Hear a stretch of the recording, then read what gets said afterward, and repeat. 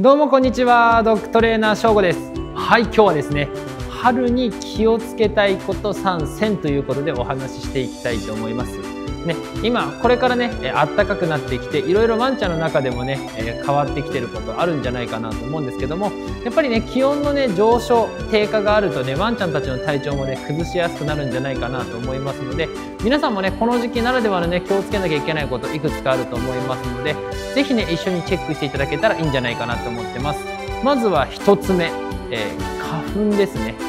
花粉症とかっていうのがねやっぱりね人にもあると思うんですけどもワンちゃんたちもなんかそういうねその季節のね、草とか木とかの影響で痒くなったりとかね肌が赤くなったりみたいなことがねあるんじゃないかなと思っております。で特にねかゆみが出てるかどうかっていうのも非常に気になるところではあるんですけどももちろんねワンちゃんがなんかわかんないけどイライラしてるとかなんかすごい吠えるようになった噛んでくるようになったって言った時にまずはしつけじゃなくてイライラしててもなることってあるんですよ。ね、なので、えー、痒かったりするからなんか触られるのが嫌で噛んでくるとか常に書いててなんかイライラしてるよねっていう時には、えー、まずねしつけの前に動物病院さんで相談していただくっていうのが非常に大事になってくる可能性があるんじゃないかなと思いますので痛みや痒みっていうのは長く続いていくと私たち人間もそうだけどやっぱりイライラしますよね。ストレス溜まる。なのでワンちゃんたちにもね同じことってあるんじゃないかなと思いますのでなんかね頻繁にかいてるとかねあとは肌が赤い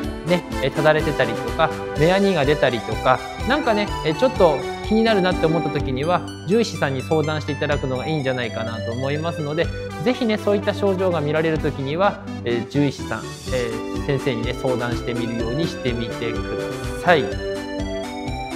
2つ目寒暖差ですね今のこの暑い寒いみたいなねえこの本当にね今私たちもね上着こうやって着てるけどもこれ本当どうしようかなって日中はなくても平気なのに夜は着ないと寒いみたいなねえそういったことがあるんじゃないかなと思うんですけどもこの時期ねワンちゃんたち非常に体調が崩しやすくなりますよということでえ室内のね温度の設定もそうなんですけどもやっぱり改めてですねワンちゃんが今どうかなっていうのを見てってあげて部屋の温度もねちょっと考えてってあげなきゃいけないんじゃないかなと思いますのでえぜひねちょっとでも暑いなって思う日はね、えもう気をつけた方がいいんじゃないかなって個人的には思っております。3つ目ですね。3つ目が、えワンちゃんが水分を取ってくれるかなっていうところでやっぱり私たちもねこの時期っていうのはまだまだねなんか寒い方が多いのかなと思ってて私たちもついね水を飲まないっていうのがね出てきてしまうんですけどもお水はね人もワンちゃんもね健康の中では大事になってくるんじゃないかなと思いますので是非皆さんもね日頃日常の中でですねお水を取るようにしていきながら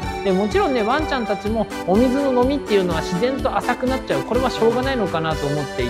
その他にですねえワンちゃんたちにお水の他にですねえ、なんかお肉を茹でた汁だったりとかなんかねヤギミルクじゃないけどそういうのでちょっとね本人たちが好きで飲めるようにしてあげたりとかなんかちょっとうちの子ねアレルギーとかねなんかちょっとそういう乳製品とかお腹弱くなりやすいんですっていう子たちの場合は